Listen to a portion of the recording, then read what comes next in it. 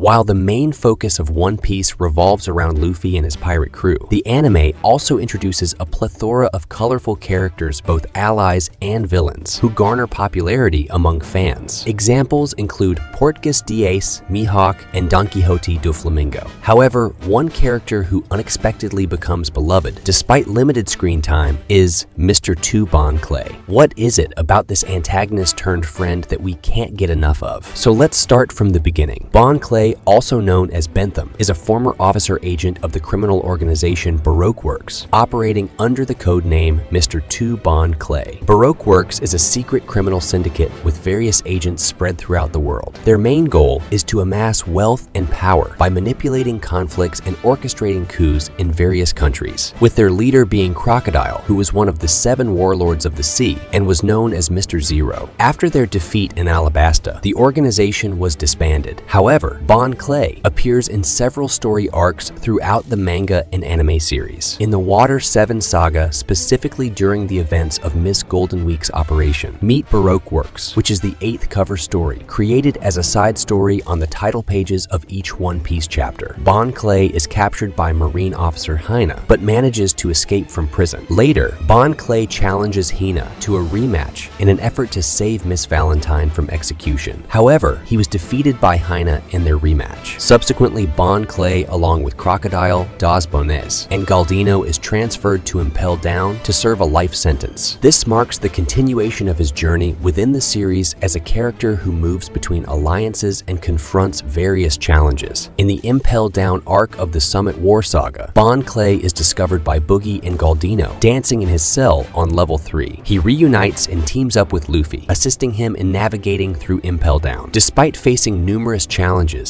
including confronting powerful beasts and aiding Luffy's recovery from poison, Bon Clay ultimately sacrifices himself to open the gates of justice, allowing Luffy and his allies to escape. He faces Magellan, the Vice Warden of Impel Down, in a final confrontation, expressing pride in his actions and sacrificing himself for his friends. Although many of us believe Bon Clay to be dead after his fight with Magellan, it was revealed that he survived this and remained incarcerated in Impel Down. Over the next two years, he rose to become the new Queen of Newkama Land on level 5.5, where he was shown leading his followers in dance. So why do fans love Bon Clay? Bon Clay quickly became a fan favorite due to his lovable personality, leadership qualities, and unwavering loyalty to Monkey D. Luffy and the Straw Hat Pirates. Bon Clay's over-the-top personality and comedic antics make him a beloved character among fans. His over-the-top mannerisms, quirky catchphrases, and humorous interactions with other characters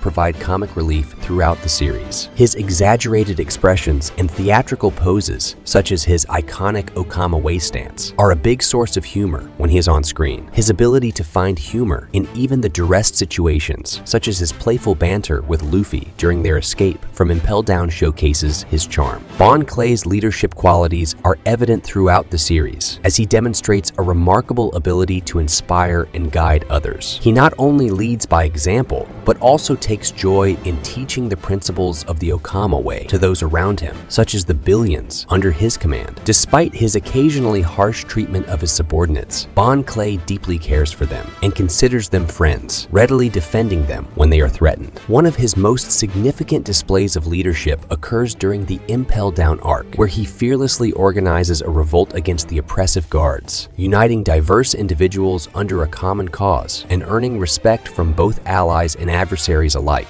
Although initially a villain, Bon Clay demonstrates his loyalty to Luffy and the Straw Hat Pirates. As Luffy and his crew were fleeing Alabasta, Bon Clay aided them by hiding their ship, the Going Merry, when the Marines were searching around Alabasta. By disguising himself and his men as the Straw Hat Pirates, they drew the Marines away. Later, after breaking out of his cell and reuniting with Luffy in Impel Down, Bentham fought alongside Luffy to reach Ace. Throughout their reunion, he greatly aided Luffy through the various dangers of the prison and ultimately supported Luffy and several other prisoners by sacrificing himself to open the way to their freedom. While his ultimate fate remains unclear, Bon Clay's unwavering loyalty and selfless actions endear him to both Luffy and fans of the series. The video ends here, but what are your opinions on Bon-chan? And according to you, when will we see him in the future? Please do let me know in the comments. If you enjoyed the video, don't forget to like it and also subscribe subscribe to the channel for more amazing videos. Until then,